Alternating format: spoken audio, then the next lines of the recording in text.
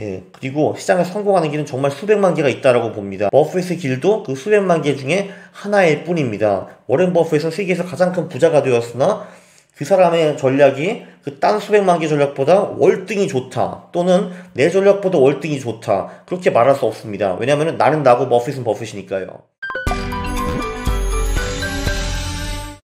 안녕하십니까 경원국입니다. 제가 며칠 전에 130번 영상에서 초중급자에게 위험한 버핏의 가르침 상편을 올렸습니다. 이번에는 제가 하편을 만들었습니다.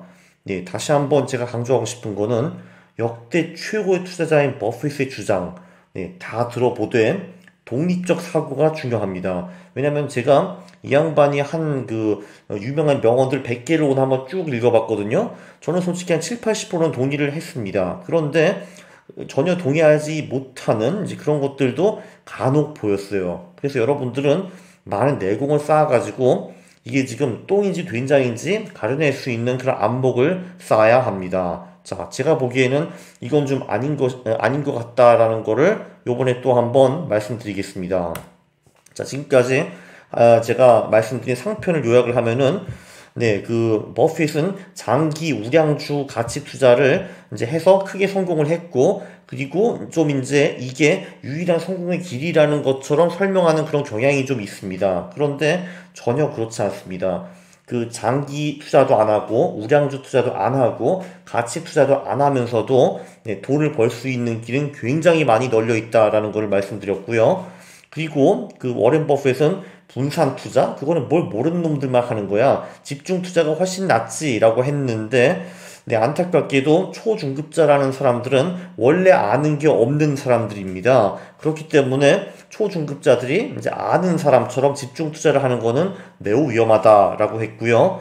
네, 그리고 워렌 버핏은 아, 반토막 이 될 각오를 아, 못 각오를 하지 않으면은 투자를 하지 말아라고 했는데 네 반토막 일을 각오로 하다가 진짜 반토막 나는 순간 아, 경우가 있습니다. 네, 우리는 절대 모멘텀이나 뭐 이동 평균성 이런 걸 통해 가지고 충분히 그 반토막 신세를 피해 갈 수 있는 방법들이 있습니다. 자산 배분이라는 훌륭한 툴도 있고요. 네, 그리고 이제 금이랑 코인은 머핏은 쓰레기라고 했거든요. 이딴 데 투자하면 안 된다. 이거 아무짝에 소용없다라고 했는데 네, 꼭 예, 가치 투자로 투자하는 거는 네, 틀린 게 맞습니다. 한마디로 금이나 코인을 사가지고 전버 그냥 영원히 보유하기 이거는 제가 보기엔 잘 알통할 것 같은데 그러나 이거 이런저런 trading 전략을 쓰면은 금과 코인을 통해서도 충분히 돈을 벌 수가 있습니다. 자 다섯 번째 이건 제 개인적인 가장 큰 아쉬움인데 워렌 버핏은 ROE를 매우 강조했는데 네, 그래서 저도 처음 초창기에는 ROE를 매우 중요시 봤는데 네, ROE만 보고 투자하면은 네, 별로 크게 성공할 수가 없습니다. 자, 그러면 이제 그냥 곧바로 6번으로 넘어가겠습니다. 자, 워렌 버핏은 마켓 타이밍은 불가능하다라고 하지는 않았는데, 근데 군데군데 그 글을 읽어보면 그런 뉘앙스가 이제 비칩니다. 어, 그니까 주식을 사고 팔고 하는 거 그거 별로 안 된다 이렇게 말씀을 하셨는데, 자, 여기서 버핏의 더러운 비밀이 하나 있습니다.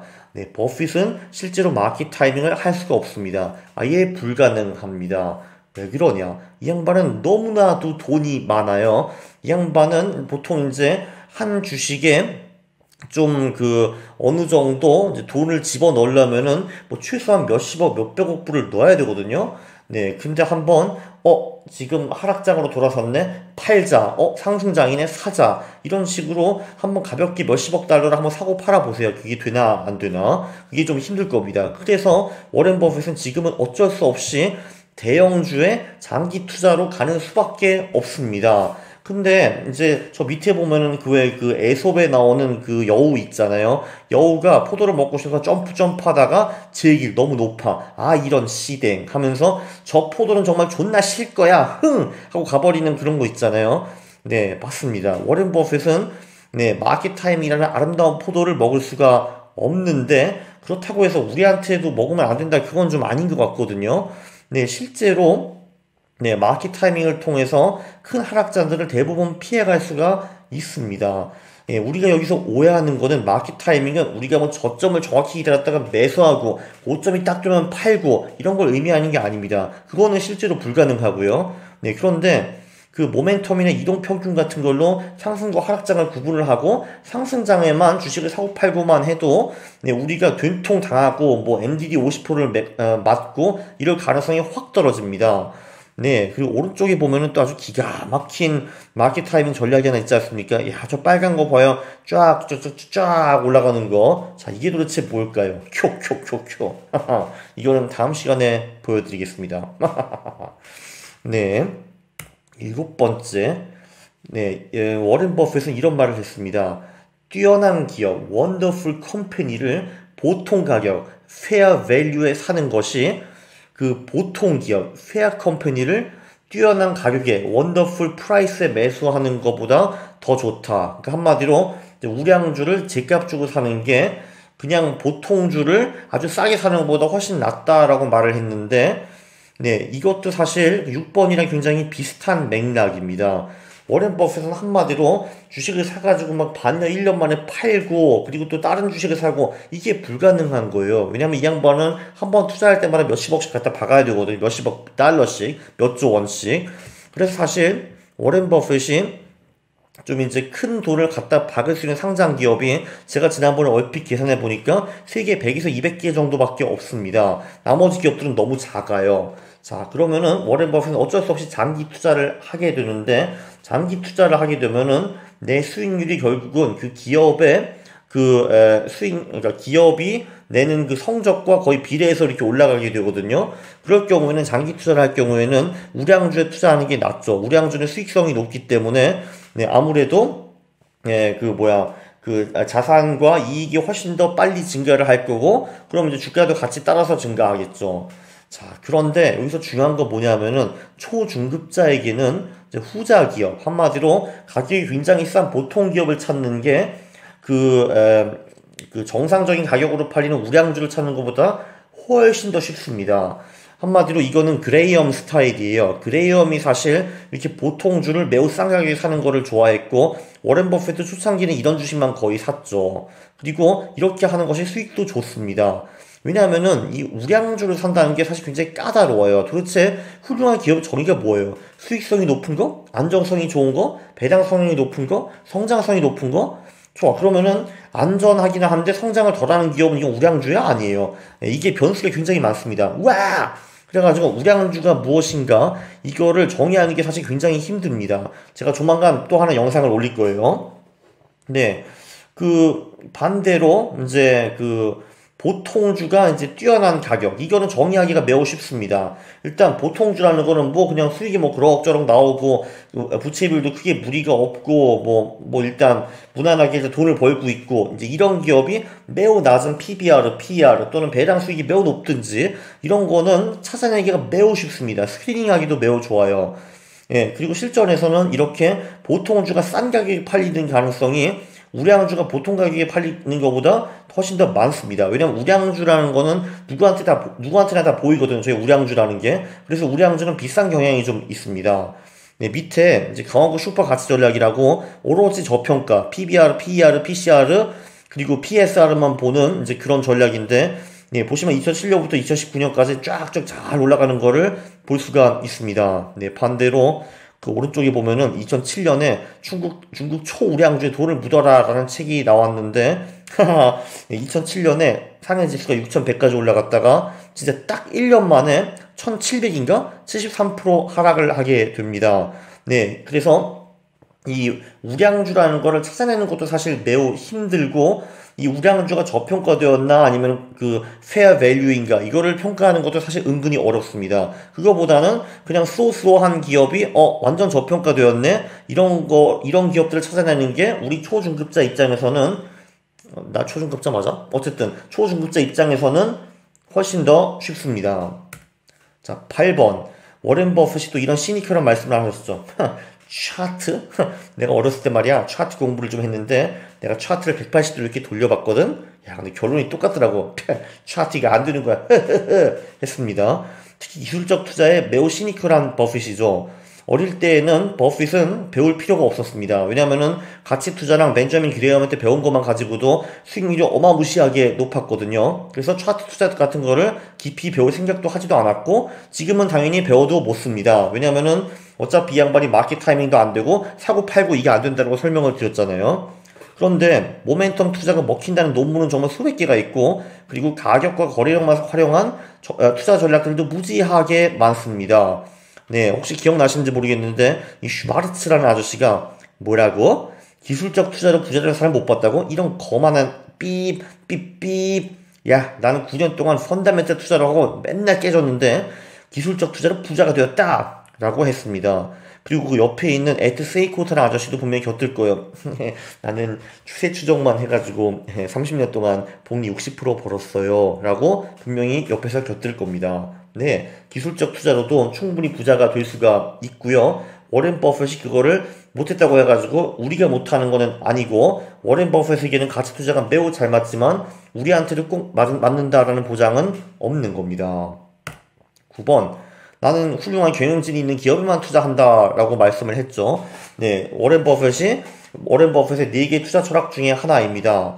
자, 그럼 한번 되묻죠. 여러분들이 직장을 다니시면은 여러분의 사장은 뛰어난 경영자인가요? 라고 제가 한번 물어보겠습니다.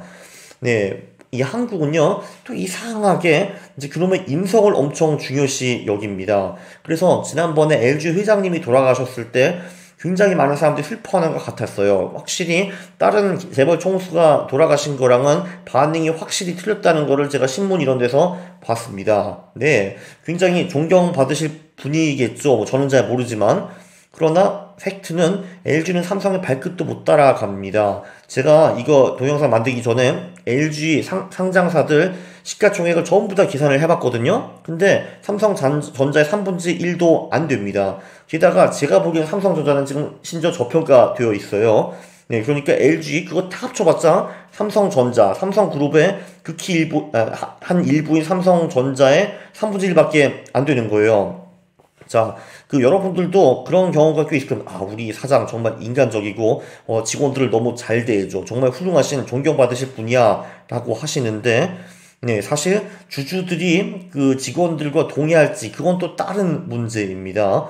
네, 그래서 사실 내 사, 사장, 내 상사도 평가하기가 사실 매우 힘들어요. 또 이런 경우도 되게 많잖아요. 그 A라는 사람은 어 저 상사는 개새끼라고 하는데 B라는 사람은 어저 상사 음, 꽤 괜찮았어라고 하는 경우도 있습니다. 심지어 같은 회사에 있는 사람들도 저 양반이 개새끼인지 양반인지 평가를 제대로 할 수가 없는 거예요. 자 그렇다면은 그 우리 그 회사 상사 사장도 평가가 이렇게 힘든데 그리고 심지어 직원과 주주의 평가가 완전히 엇갈릴 수가 있는데 네, 경영진을 남의 경영진, 남의 상장 기업 경영진을 어떻게 평가를 하겠습니까? 그렇죠?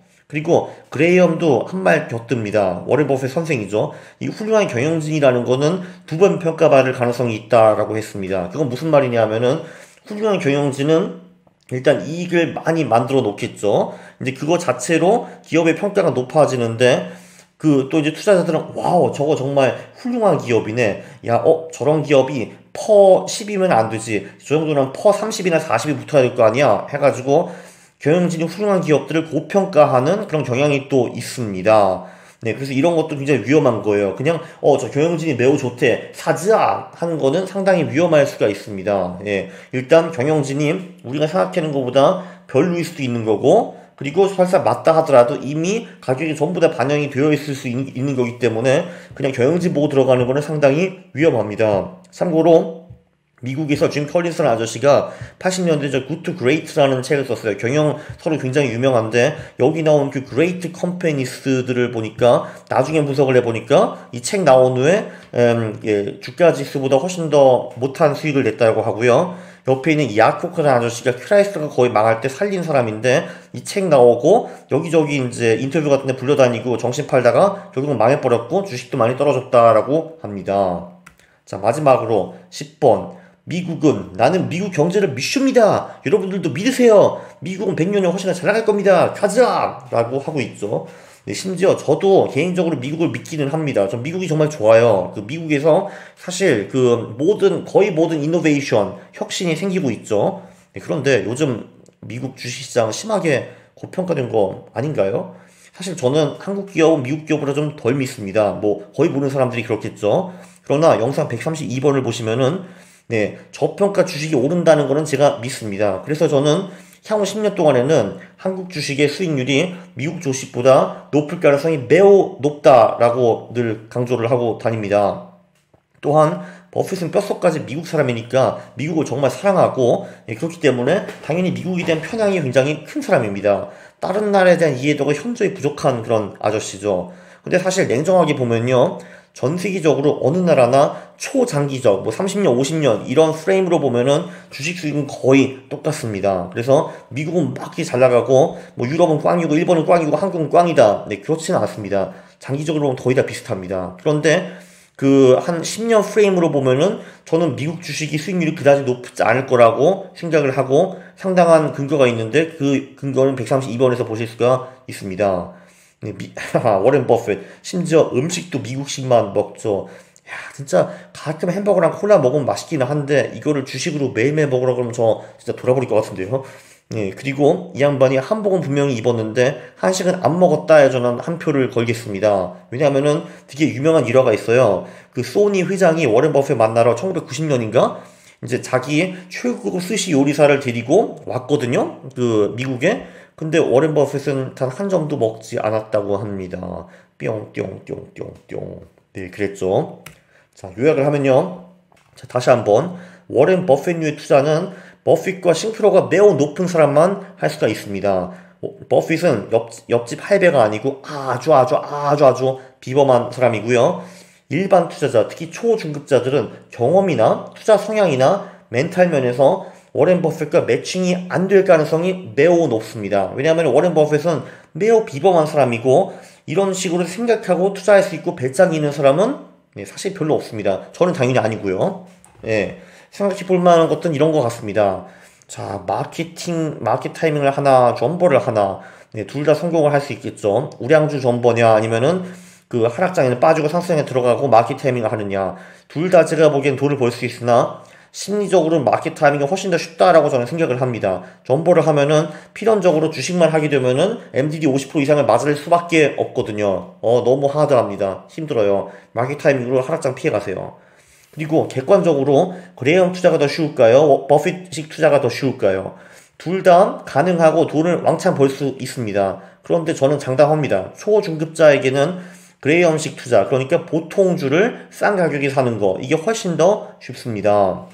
그리고 이런 식으로 투자를 하면은 실패할 가능성도 매우 적습니다. 왜냐하면 저평가되어 있기 때문에 더 이상 막 떨어질 가능성이 그만큼 적거든요. 예, 그리고 시장에 성공하는 길은 정말 수백만 개가 있다라고 봅니다.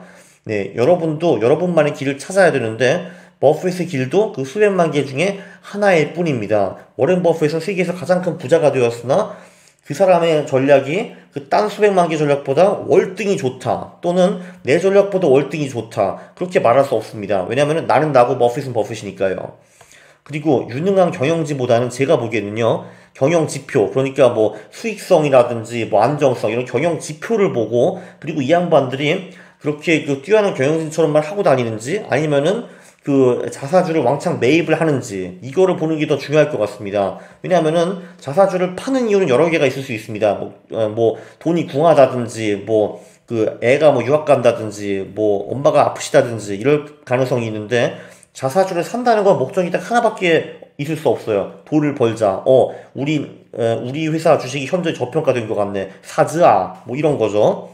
그리고 미국 아주 great country이긴 합니다. 저, 저도 그걸 믿고 있어요. 그러나 미국에만 투자를 해야 된다? 저는 그거 믿지 않습니다. 일단 향후 10년에는 미국 주식 수익이 그렇게 높지 않을 거라고 저는 생각을 하고 그리고 기본적으로 미국에서 어, 통하는 투자 전략들은 딴 나라에서는 기본적으로 더 잘 통합니다. 왜냐하면 미국은 세계에서 가장 효율적인 시장이고 네, 그 이 효율성은 딴 나라들, 특히 한국 같은 데는 현저히 떨어지거든요. 그래서 미국이라는 시장에 국한될 필요 없습니다. 워렌 버핏이 미국의 본인의 자산의 90% 갖다 박는다고 해서 우리도 그렇게 할 필요는 전혀 없는 겁니다.